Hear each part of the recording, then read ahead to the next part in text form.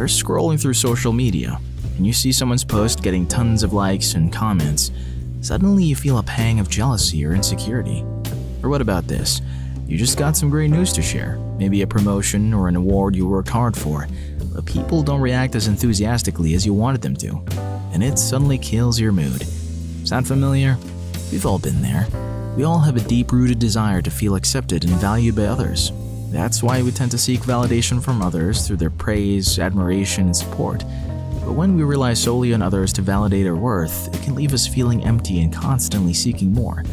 Now, here's the good news you have the power to validate yourself.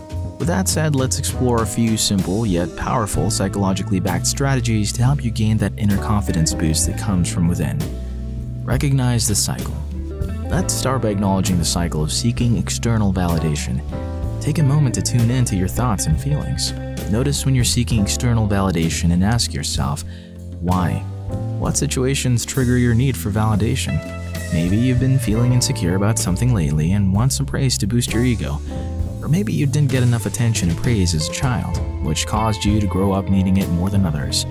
Understanding the patterns can help you break free from them. And knowing your motives for seeking external validation, you can find healthier and better ways to address them and start building your self esteem from within. Practice self appreciation. Another important step to letting go of your need for approval is strengthening your foundation of self acceptance. This way, you will no longer feel the need to look to others to feel good enough about your choices and decisions. Keep a self appreciation journal where you start acknowledging daily or a few times a week the things you're most proud of about yourself. Choices you've made, insights you've learned, things you like about yourself, times you've stayed true to yourself, or whatever feels right for you. Try rejection therapy. Ever heard of rejection therapy? Instead of avoiding rejection, you actively seek it out. It might sound scary, but it's actually a game changer for boosting your confidence and ditching the need for constant validation. Here's how it works you deliberately put yourself in situations where rejection is possible. Start small, like asking for a discount or trying for a job you think you're not qualified for, until you're eventually confident enough to do things like asking out strangers or pitching ideas at work. As you constantly subject yourself to rejection, or even just the possibility of it, you realize it's not as terrible as you thought and you become less afraid of it. This helps you stop relying on others' opinions for validation, so you can start validating yourself. Set personal goals. Instead of relying on external benchmarks of success, set your own personal goals and milestones. Ask yourself, what do I want to achieve? What do I want out of life? Try to separate this from what others expect from you, want of you, or need from you. Whether it's mastering a new skill or pursuing a passion project, Focusing on your own goals, guided by your own values, can boost your self esteem and sense of fulfillment. Most importantly, when you set personal goals, whether you fail or succeed isn't as important as how much you grow and learn as a person. With shifting your perspective, you can turn every setback into an important lesson and every goal as a catalyst for self validation. Listen to your intuition. You know yourself best, right? So why rely on others for answers?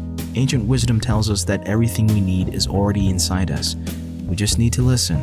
Cultivate stillness by spending time in nature, taking time off your phone, going for a walk, meditating, or journaling. Once you've found your moment of stillness, start listening.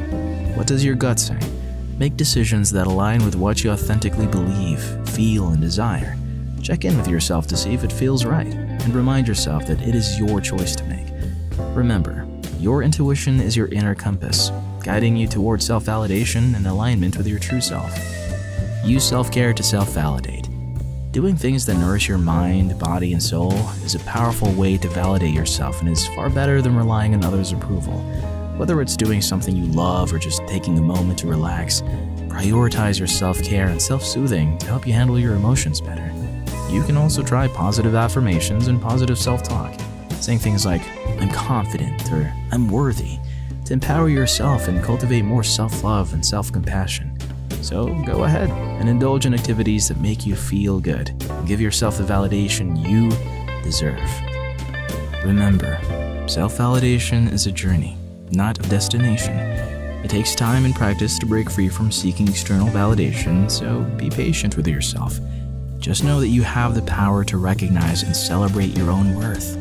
As Maya Angelou once said, success is liking yourself, liking what you do, and liking how you do it.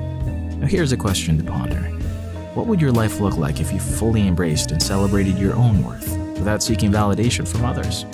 We'd love to hear your insights in the comments down below. And if you found this video helpful, let us know with a like and share to help us uplift more people. Be sure to subscribe and explore other videos too, like harmful habits are hurting you without knowing it, and six signs you're abandoning yourself for others, fawning. Till next time, thanks for watching.